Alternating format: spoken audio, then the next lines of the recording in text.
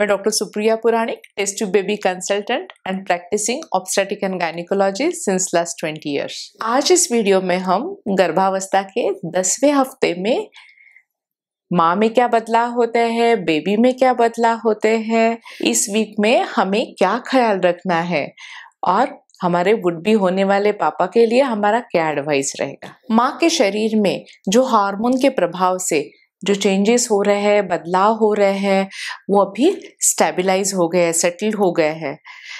जिन्हें कॉन्स्टिपेशन है, उनको कॉन्स्टिपेशन चालू है, जिन्हें जी मचलाना चालू है, थकान चालू है स्लीपीनेस चालू होती है, वो सारे लक्षण वैसे ही वैसे चालू रहते हैं। ये सारे लक्षण अभी हमारे एक लाइफस्टाइल का हिस्सा बन चुके हैं। एक और लक्षण अभी ये दसवें हफ़्ते से हमें थोड़ा सा दिखाई देता है। वो हमारा योनि मार्ग से जो स्त्राव रहता है, वो स्त्राव थोड़ा ज़्यादा बहने लगता है। ऐसा लगता है नीचे थोड़ा सा गीलापन है। प्रेगनेंसी के दौरान, गर्भावस्था के दौरान बच्चादानी को यूट्रस का ब्लड फ्लो बहुत सारा बढ़ जाता है, जो आने वाले बेबी को पोषण देता है, बढ़ाने में मदद करता है।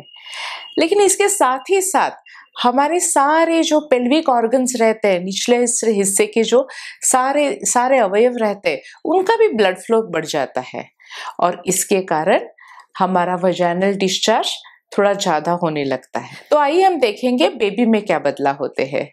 बेबी एक छोटे स्ट्रॉबेरी जैसा, छोटे लेमन जैसा दिखाई देता है। बेबी यूजुअली टू इंचेस तक मेजर होता है।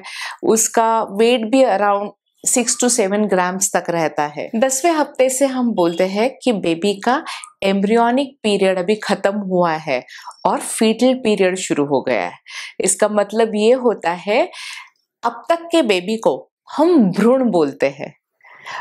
और अभी होने वाले दसवें हफ़्ते के बाद वाले बेबी को हम शिशु बोलेंगे, बच्चा बोलेंगे। तो बेबी का एम्ब्रियोनिक पीरियड अभी खत्म होता है। अभी हम ये जानेंगे ऐसे क्यों कहा जाता है? क्योंकि दसवें हफ़्ते तक बेबी के सारे पार्ट्स डेवलप हो जाते हैं। जो इम्पोर्टेंट बेबी पार्ट्स रहते हैं बेबी की किडनी ब्रेन बेबी के लंग्स बेबी की इंटेस्टाइन बेबी का फेस बेबी की आँखें बेबी के कान, सब तैयार हो जाते हैं। अभी आगे आने वाले पीरियड में वो सारे मेच्योर होने का काम सिर्फ़ बचता है। और बेबी के सारे अवयवों का फंक्शनिंग भी शुरू हो जाता है। ब्रेन अपना कार्य करना शुरू हो जाता है लीवर अपना कार्य करता है किडनी अपना काम करना शुरू हो जाता है। जो हम बेबी को देखेंगे तो बेबी स्ट्रेट होता है और बेबी के शरीर का आधा हिस्सा सिर से ही भरा हुआ रहता है। बेबी के जो फिंगर्स अब तक एक दूसरे को जुड़े हुए होते हैं, वो अभी सेपरेट होना शुरू हो जाता है। बेबी सारे फिंगर्स हिला सकता है, उसके साथ ही साथ अपना बेबी अभी पी सकता है। हम्म बेबी एमनियोटिक फ्लूड पीते रहता है। तो आइए हम देखेंगे ये हफ़्ते में हमें क्या सावधानी बरतनी है। जैसे मैंने बताया, ये प्रेगनेंसी में वजैनल डिस्चार्ज बढ़ जाता है। लेकिन हमें टेंशन हो जाती है कि ये डिस्चार्ज नॉर्मल है या एबनॉर्मल ये डिस्चार्ज एबनॉर्मल कब होता है, ये मैं आपको बताती हूँ।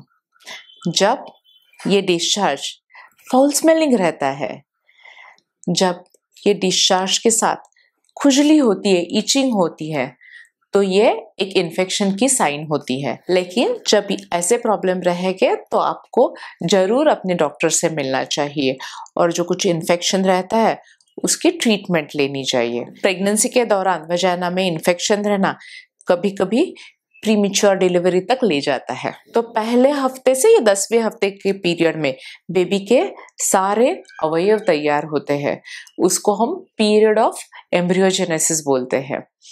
तो इस दौरान जैसे मैंने पहले ही बताया था कि हमारी लाइफस्टाइल बहुत अच्छी रहनी चाहिए, अपना खान पान अच्छा होना चाहिए। आपको खुद को फार्मेसी से दवाई परचेस करके नहीं खानी है और आपको जो सारा मेडिकेशन पहले से चालू है, वो पूरा डॉक्टर को आपने दिखाया रहेगा। तो पहले ये दस हफ्तों में कुछ गलत दवाइयाँ हमने ले ली है तो बेबी को बर्थ डिफेक्ट होने के चांसेस है।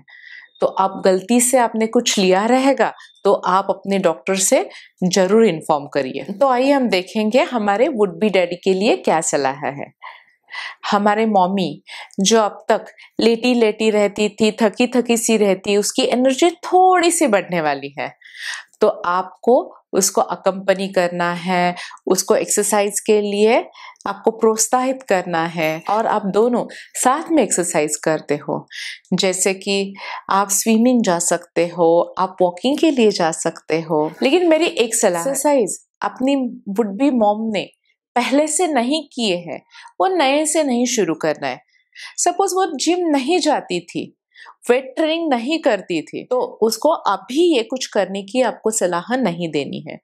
जो पहले से एक्सरसाइज करती थी, वो वो सेफली कंटिन्यू कर सकती है। तो इस वीडियो में हमने आज जान लिया कि दसवें हफ़्ते में हमारे शरीर में क्या चेंजेस होते हैं, हमारे बेबी में क्या चेंजेस होते हैं, इस वीक में हमें क्या ख्याल रखना है, और हमारे वुड बी डैडी के लिए हमारी क्या सलाह है।